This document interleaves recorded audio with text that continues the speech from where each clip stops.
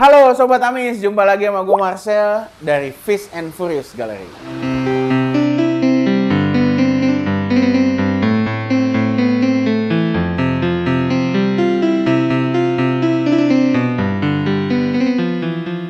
Jadi hari ini gue akan mulai mau coba konten lagi, mau coba intens lagi, diusahakan di tengah kesibukan gue, gue pengen mulai konten lagi. Jadi hari ini kita mulai dengan konten dunia ikan Indonesia, khususnya perparian di Indonesia sedang dari masa prihatin. Kenapa gue bisa bilang prihatin? Karena sering berjalannya waktu, sering berjalannya hobis yang banyak meningkat khususnya di perparian di Indonesia gue sangat prihatin karena semakin ke sini semakin ke sana kenapa karena urusan perlabelan itu semakin simpang siur menurut gue jadi gue pengen cerita sedikit tentang basicnya. Dunia dunia kita itu udah gampang dengan gadget. Gampang di mana pintu dunia itu udah terbuka dengan cuma di handphone kalian. Nah jadi coba kita sebagai hobis coba budayakan belajar budayakan membaca apa itu jenis-jenis masing dari ikan tersebut contoh misalkan P12 itu ada Potamotigon henley oke okay? P 4P13 itu ada Leopoldi dengan beberapa varian di bawahnya. P14 itu ada Galaxy, Potamotrigon Galaxy. Jadi kita bisa browsing, kita bisa lihat identiknya dari jenis-jenis tersebut tuh apa. Misalkan ada orang mengatakan, oh ini BD di cross sama Henley. Berarti apa yang terjadi dengan ikan tersebut? Terus, oh ini uh, BD di cross dengan Galaxy. Nah, oh ini, nah dua-dua dua-dua ini kan semua punya ciri khas masing-masing. Kalian juga bisa pelajarin yang namanya Leopoldi basicnya seperti apa dari titik-titik di mata, dari ekor yang pedal, dari panjang ekor yang tidak terlalu panjang, agak pendek, dari susunan duri-duri di atas ekor, bukan duri yang stingnya ya, tapi duri-duri kecil yang di atas ekor tuh. Nah, terus dari ketika dia membesar, dia mulai banyak spot di dadanya, mulai tumbuh. Nah, itu itu ciri-ciri khas ciri-ciri khas yang kalian bisa lihat dan googling sendiri gampang sekali teman-teman. Nah, jadi gen moto gen hybrid motor dominan, apa BD dominan, kalian juga bisa pelajarin semua. Jadi gue prihatin sekali seringnya berjalannya waktu, seringnya berjalannya uh,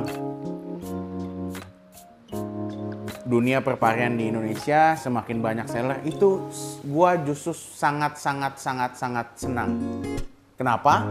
Ketika banyak mun, uh, bermunculan seller-seller baru berarti daya permintaan juga semakin tinggi sarana publikasi tentang ikan ini juga semakin baik ya kan jadi semakin banyak orang yang tahu semakin banyak orang yang mengerti oh ternyata pari itu ada air tawar loh ya kan pari itu ada ada jenis ini itu ini itu nah jadi itu sungguh-sungguh menyenangkan buat gua gua tidak pernah iri karena rezeki masing-masing masing-masing punya uh, porsi masing-masing, masing-masing juga punya customer masing-masing, tidak ada saling berbenturan.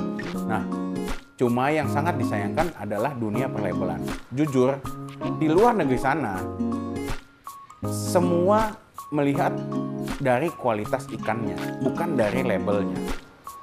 Jadi, mereka tidak peduli ikan ini mau di label apa, tidak peduli. Tapi dia lihat kualitasnya, keunikannya, kerapihannya, kebagus uh, kecantikannya semakin cantik semakin berkualitas semakin uh, enak dipandang semakin tinggi semua luar negeri orang-orang luar negeri menilainya seperti itu.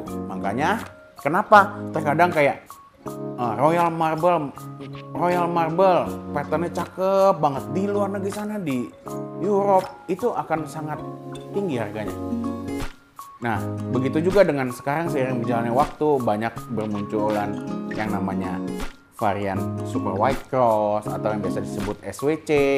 Terus ada juga uh,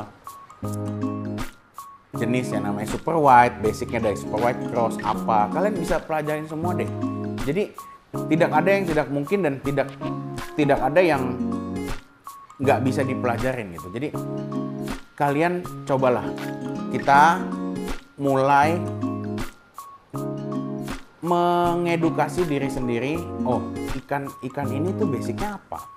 Ikan ini uh, motifnya seperti ini, masuknya apa? Kita jadi bisa tahu. Uh, terus uh, mulailah menilai harga ikan-ikan yang di atas standar, yang unik, yang apa, dinilai dari kecantikannya. Jadi pasti semakin di luar negeri misalkan oh SW SW ini contoh SW SW ada yang banyak kelas dari yang ada yang biasa normal lumah sedang ada yang super kualitas nah masing-masing harganya juga beda-beda. Betul kan? Nah nggak mungkin SW yang high quality harganya harus sama dengan SW yang normal-normal kualitas gitu kan? Nggak nggak nggak nggak mungkin gitu. Karena semakin keunikan dan semakin cantik sebuah hewan, semakin indah dia di akuarium, pasti harganya semakin ada. Apalagi sekarang kan banyak hybrid-hybrid. Kenapa sih di hybrid? Karena orang pengen cari pola, pengen cari pattern baru yang nggak bosen, yang nggak yang nggak apa yang kira-kira bisa membentuk sesuatu yang lebih unik lagi dibanding yang sudah ada di pasaran. Itu fungsi hybrid. Kenapa banyak hybrid-hybrid juga bermunculan. Tapi hybrid itu sendiri kalian harus pelajari basicnya apa gitu. Jadi kalian tinggal Google, tinggal apa karena jangan sampai semakin ke sini semakin simpang siur. Please lah, kalian bisa kita masyarakat Indonesia pasti pinter-pinter, kita bisa belajar dunia terbuka, kita membaca, kita pelajarin sebelum tidur googling-googling. Jangan membeli atau mem mempercayai sesuatu cuma karena label. Tapi belilah ikan yang kalian suka, yang kalian mau yang memang kalian incer dan sesuai dengan apa yang uh, eh, kalian bayar sesuai dengan apa yang kalian dapat. Ya, teman-teman. Jadi itu aja pesan gua di di konten kali ini. Di video kali ini gue cuma pengen menghimbau untuk teman-teman dunia pari sudah makin banyak yang pelihara semakin terpublikasi. Terima kasih untuk banyak-banyak seller, banyak-banyak penghobi yang suka dengan uh, perparian ini.